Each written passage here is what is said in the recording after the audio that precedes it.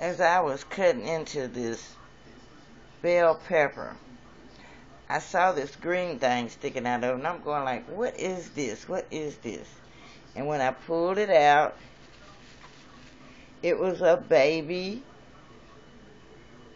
pepper. I've never seen that happen. The pepper was growing on the inside, so this must have been a female pepper. A lot of people might not be wondering why I'm doing this, but it was amazing because this is the first time I ever saw this. Thank you, people, so very much out there. Thank you, thank you, thank you.